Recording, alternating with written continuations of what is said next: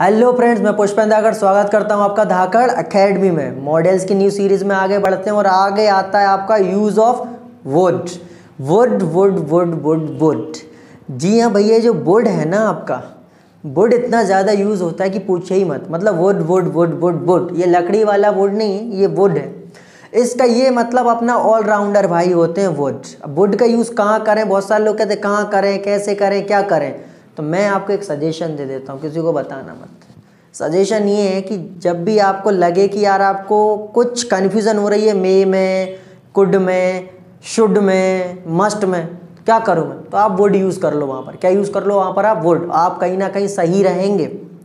Hundred percent तो नहीं कह सकता, लेकिन हाँ आप कुछ परसेंट वहाँ पर सही रहेंगे। कुछ ना यूज़ करने से अच्छा कि वहाँ पर वुड यूज़ कर लो।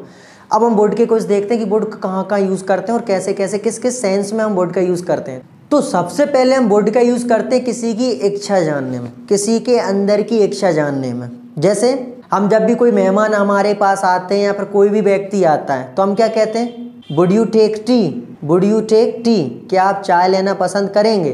तो हम उसकी इच्छा जानते हैं। यहाँ नहीं कहते, ये लीजिए, चाय ले लीजिए। हम पूछते हैं, क्या लेंगे आप? चाय लेंगे, कॉफ़ी लेंगे, यह लेंगे, वो लेंगे? तो वही बात हो रही है। तो हम यहाँ पर किसी से इच्छा जानना चाह रहे हैं तो आप वहाँ पर वुड का यूज़ करें वुड यू टेक टी क्या आप चाय लेना पसंद करेंगे तो सामने वाला कहेगा, नहीं भैया, हमें नहीं चाहिए। तो वुड यू टेक किसी की इच्छा जानना, किसी के मन की इच्छा को जानने के लिए हम वुड का यूज़ करते हैं। समझ में आ गई बात? अब दूसरी चीज़ दूसरी चीज़ ये कि पोलाइट रिक्वेस्ट अब आपने कहा कि, सर कुड में भी यूज़ कर सकते हैं मे में भी यूज़ कर सकते हैं। तो भैया, जब आप बुड यूज़ कर रहे हैं तो बुड में भी आप किसी से अगर रिक्वेस्ट करते हैं तो आप वहाँ पर भी किसी से पोलाइट रिक्वेस्ट में कह सकते हैं। ये पोलाइट रिक्वेस्ट अधिकतर प्रोफेशनल जगह पर चलती है बुड का यूज़ बुड का यूज़ अब जब भी हम करते हैं किसी प्रोफेशनल जगह फॉर्मल वे में बात हो रही होती। फॉर्मल वे में जब बात हो रही होती, वहाँ पर हम बुड के ज़रिए हेल्प मांगेंगे किसी से। जैसे बुड यू सेंड मी या mail would you send me या मेल या बुड यू एक्सप्लेन दिस क्या आप मुझे समझा देंगे? तो जब फॉर्मल की बात होती है तो वहाँ पर हम रिपोलाइट रिक्वेस्ट करेंगे किसी से, और पोलाइट रिक्वेस्ट में वहाँ पर वुड का यूज़ करेंगे। समझ में आ गई बात? चलिए तो अगला वुड का यूज़ देखते हैं क्या होता है। अगला वुड का होता है कि जैसे हम कहते हैं ना कि आई विश ऐसा होता आई विश वैसा होता तो आई विश जहाँ पर भी हम बोलते हैं, वहाँ पर हम वुड का यूज़ करते हैं। जैसे I wish you would become engineer मतलब मेरी इच्छा है कि तुम इंजीनियर बनो। तो इस तरीके से जब आई विश बोलोगे I wish you would become prime minister I wish you would speak English fluently तो जब इस तरीके से बोलना हो आई विश आई विश तो वहाँ पर आप वर्ड का यूज़ करेंगे।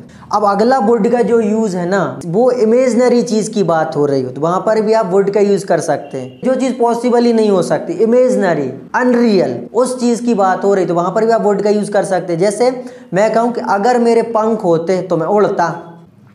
If I had wings if I had wings I would fly if I had wings I would fly अब मेरे ऑब्वियस मेरे पंख तो बनेंगे नहीं। जब पंख नहीं बनेंगे तो मैं उड़ भी नहीं सकता। जैसे अगर मैं राजा होता तो मैं एक महल बनवाता। If I were the king if I were the king I would build a castle I would build a castle तो इस तरह की चीज़ों में भी आप वुड का यूज़ करते हैं। इसके अलावा प्रोबेबिलिटी पॉसिबिलिटी शुड का यूज़ जहाँ भी आप करते हैं, वहाँ पर आप वुड का यूज़ भी कर सकते हैं मे बी सो गाइज़ इसी के साथ आपका यूज़ ऑफ़ वुड फिनिश होता है। तो होप यू गाइज़ आपको यूज़ ऑफ़ वुड समझ में आया होगा। आया है समझ में तो फीडबैक सेक्शन में लिख दीजिएगा। Thanks for watching